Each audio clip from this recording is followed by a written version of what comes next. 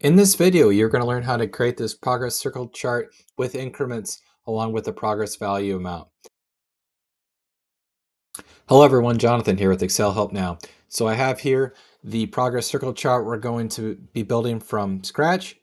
And there's just a couple of things that we need to do to set this up to get it to function correctly and to be able to show the progress that we want to and to look nice and clean. Um, so I'll just demonstrate just what it does. So we update our values starting at zero, or we could even go negative. It'll still be zero and it won't show a slice amount. So there's, if you don't set this up right and you have a negative amount, it'll actually show as though there is a percent. So that's one thing we'll correct for.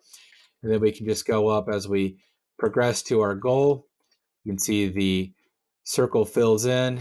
Then we get closer, it's almost completely filled. We have this text box in order to show how much percent we have.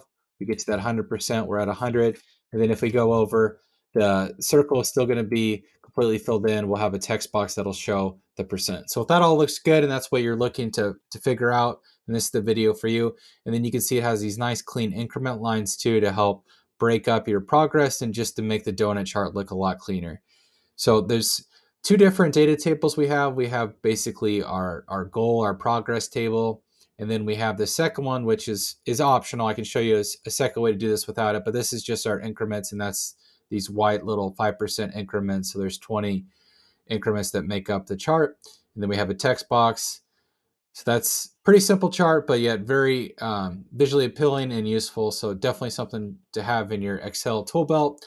And so to start, the category up here, this can just be whatever you're trying to track. I just have total sales as just a, a standard placeholder.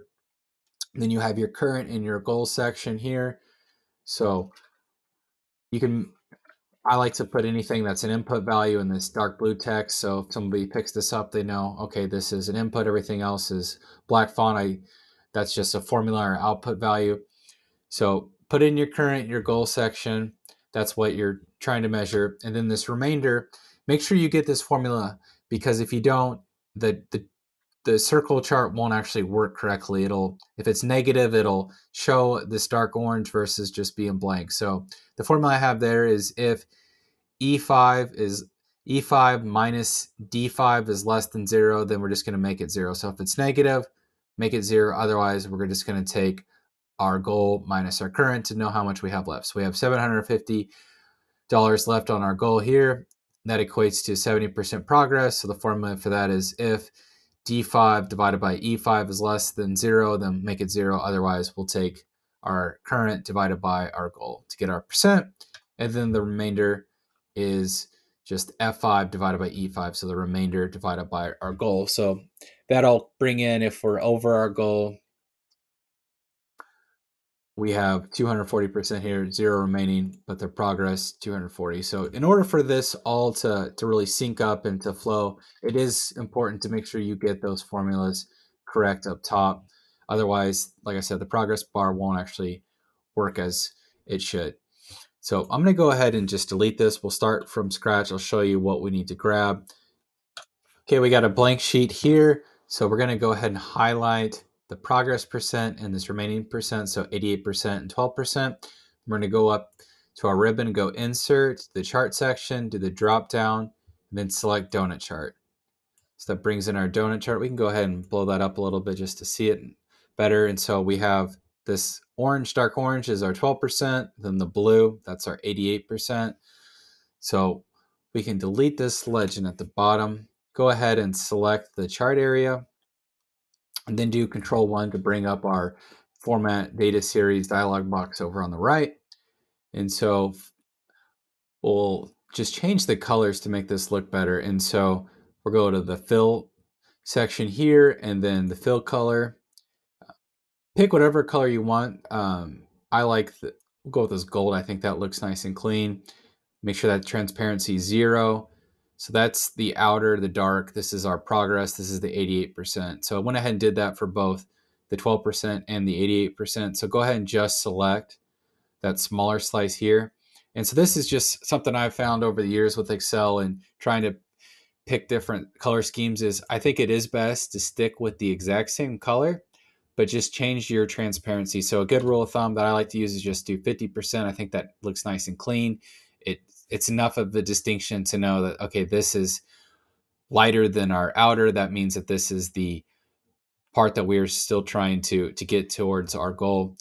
And so really that's it. That's that's a way to just do a really simple progress chart if you wanted to just do it without the increments. But I think those increments that we're going to bring in really make the the chart just look a whole lot better and more professional. So in order to bring those in, select the chart area, go to chart design. We're going to go to select data. We're going to go to add a series here.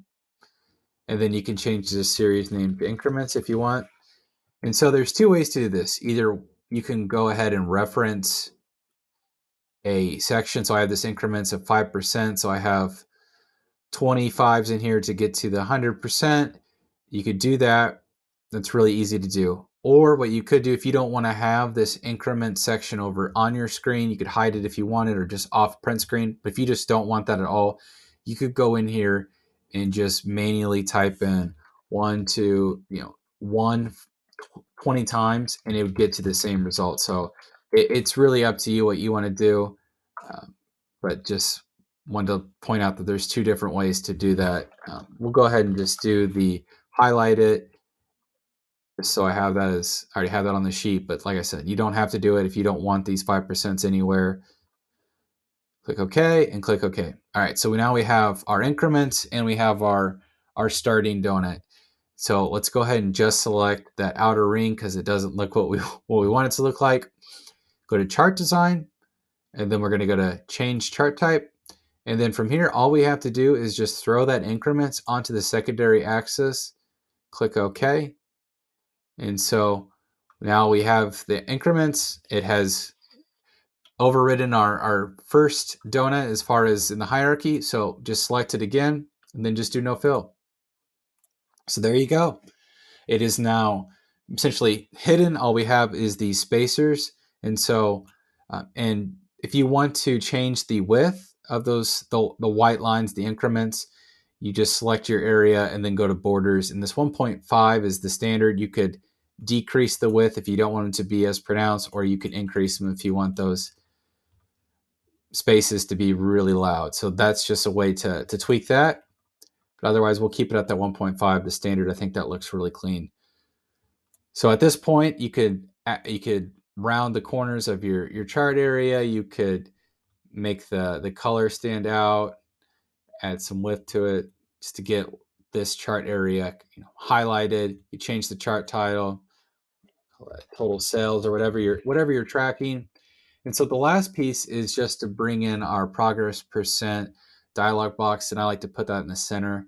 And so another rule of thumb here, just a, nice helpful tip, is to actually select your chart area and then go to insert and then you could do a shape basic shape i'm going to click this oval and just draw it in there just so it looks pretty close to the the area that we're working with and so by selecting that chart it actually is going to go ahead and just group that oval with our chart so instead of having to insert a text box or a shape and then group it later if you just do that selecting the chart first, it, it makes it easier and it's already associated. So I'm just going to do some formatting here just to clean this up a little bit.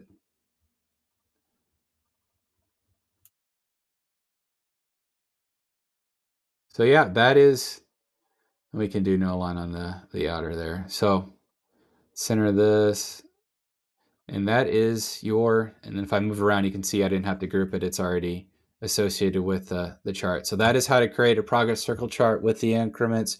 Really simple, really clean looking graph that um, I think can really be useful for dashboards or just to give you know, one-off reports. And so thanks for, for watching. Um, please like and subscribe. And I will say that I do have this exact template along with um, some dialog boxes that you could have as far as pulling out the goal and the remainder you could have 5% increments with multiple charts to give a nice clean dashboard. I have an example here. Or you could do like 10% increments. So you have 10 increments instead of the 20, whatever you prefer. I do have this complete template available in the link in the description to my Etsy page. So if that if this interests you, you don't want to go through the steps of actually creating yourself, I do have this available. But otherwise, I think you should be well equipped equipped to produce this on your own using this. And I hope you found this useful. Thank you and God bless.